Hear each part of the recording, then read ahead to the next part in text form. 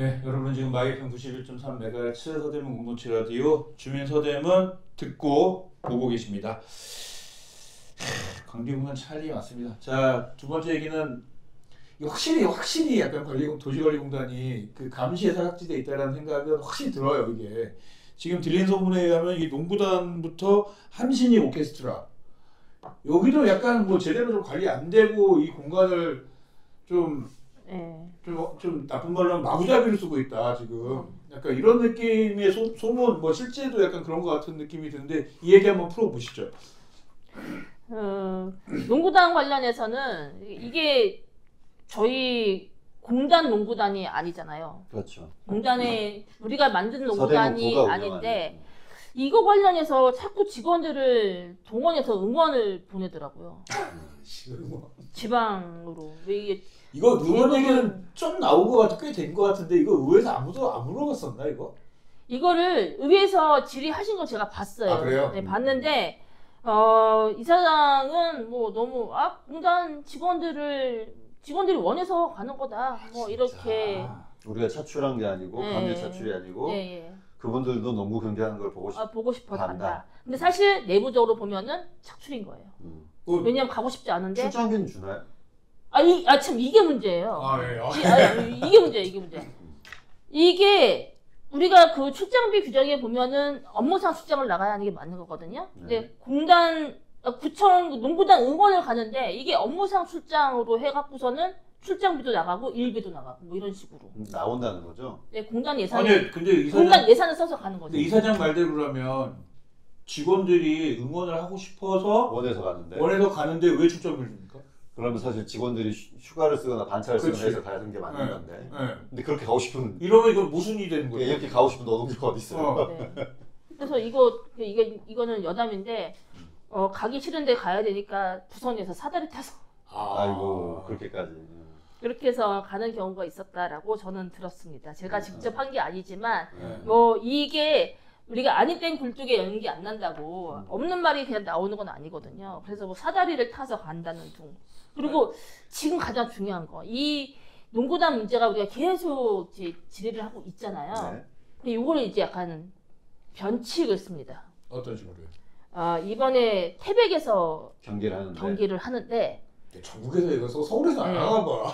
태백에서 경기를 하는데 이제 자꾸 여기 문제가 나오니까 요거를 벤치마킹으로 돌려갖고 아, 태, 태백시에 있는 체육시설관리공단에 그렇죠. 그쪽에. 벤치마킹을 하는 걸로 네, 권해서 이미 간 김에 네, 응원 나가봐라. 벤치마킹도 같이 간 김에 응원하고 와라 아유, 이렇게 나쁜 걸로는 참 머리. 그래서 전에는 이제 전 부서의 직원들을 이렇게 착출을 했는데 음. 지금은 체육부서만 딱 아, 해갖고 그렇게 해서 그렇죠. 서대문 연구소에 근무하는 직원이 체육시설 벤치마킹 하는 건또 말이 안 되니까. 그래서 어. 체육부서 시설 그 체육부서에 있는 직원만 몇 명 해갖고 간다. 음. 라고 해서 그 벤치마킹이 그렇게 가더라고.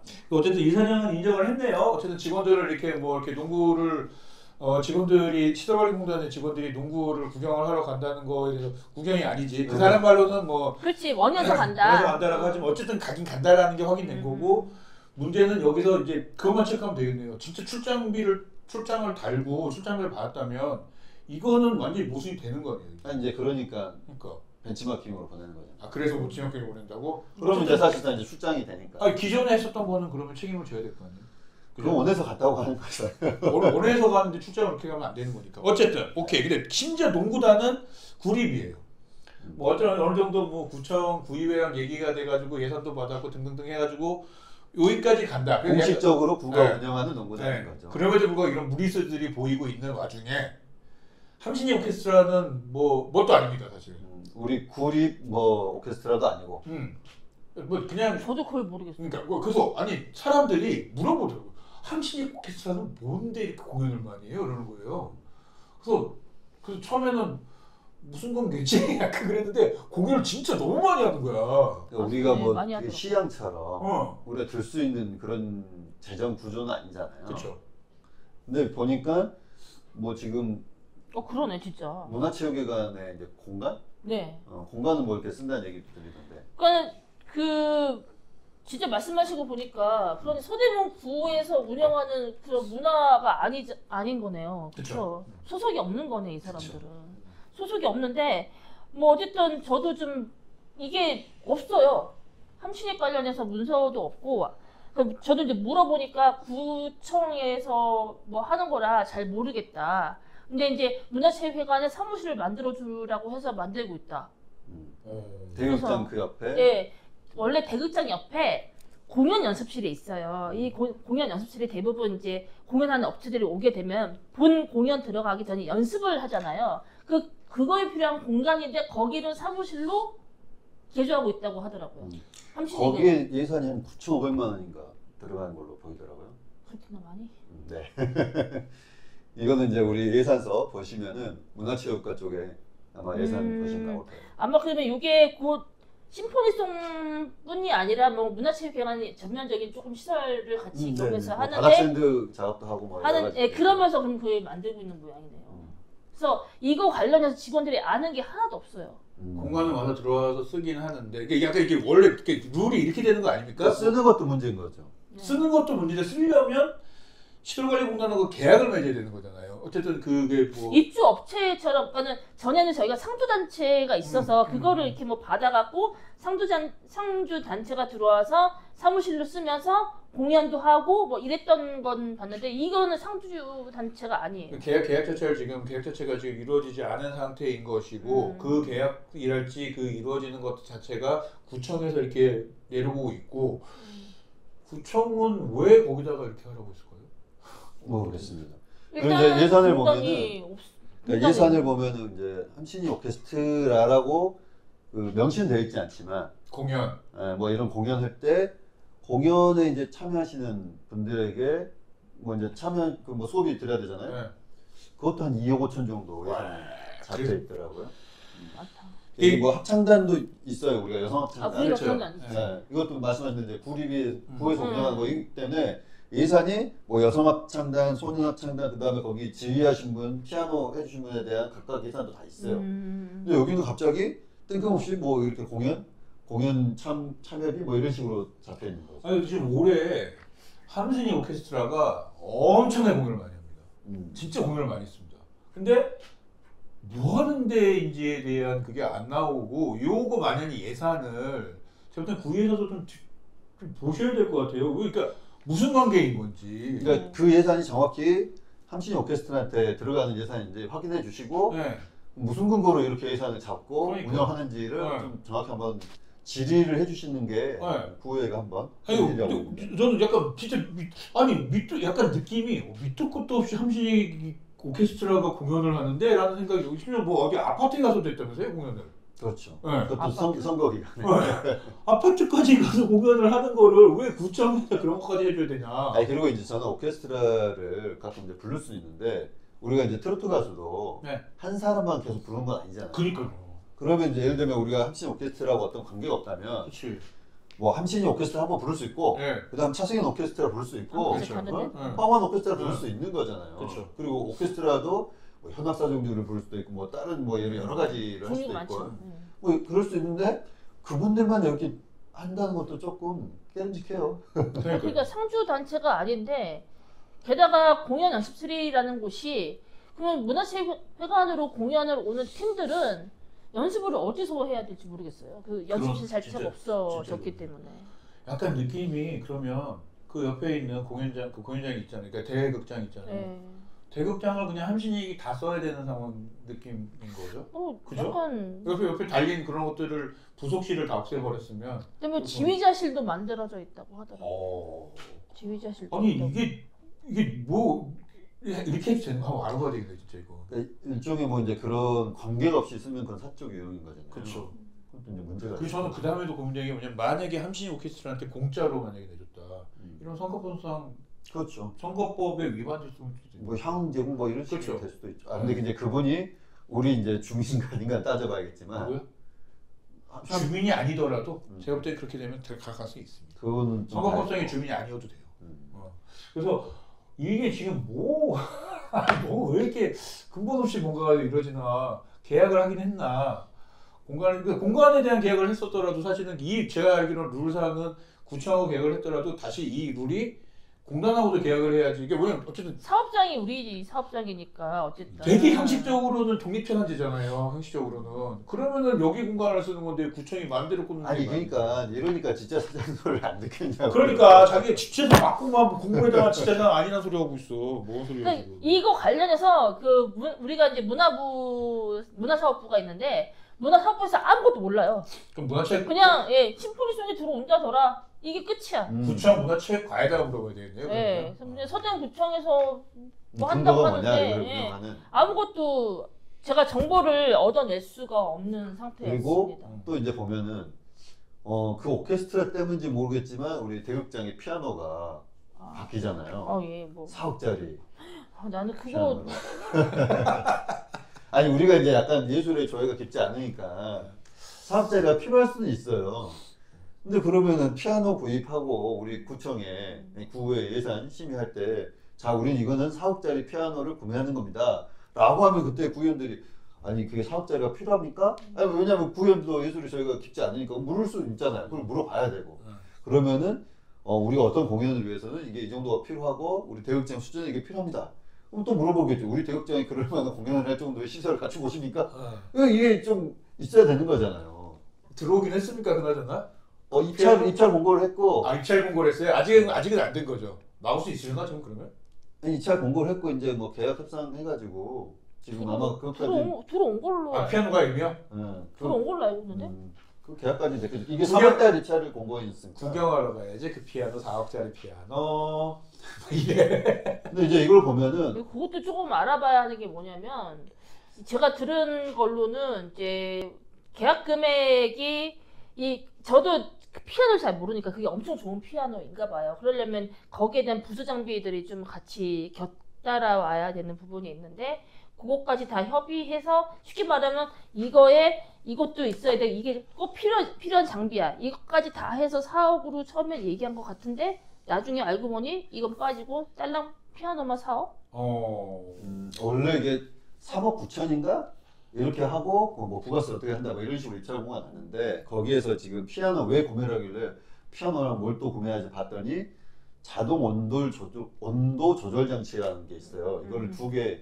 뭐 이식을 구매하고 그다음에 피아노 커버 네. 뭐 이런 식으로 해가지고 음. 이게 금액을 이제 형성하더라고요. 또 근데 원래 이걸 다 같이 해서 이렇게 이렇게 이렇게 포장이 돼야 되는데 딸랑 피아노만 따로 이거 이거 부수도록 또 예산. 음, 원래는 이렇게 다 같이 주는 걸로 그렇게 그 내가 아는 사람은 그렇게 얘기를 했대. 음, 음. 근데 나중에 이제 뭐 이사장 뭐 함신이 그 관계자들 뭐 이렇게 만나서 얘기하더니 갑자기 이게 바뀌었다고 음. 그렇게 이게- 저한테 얘기는 했던 것 같아요. 진짜 이게 이해가 안 되는 게 어, 알잖아요 그, 그, 그, 그 컨디션을 우리가 문화체육회관 대공연장의 컨디션을 우리가 알잖아요 음.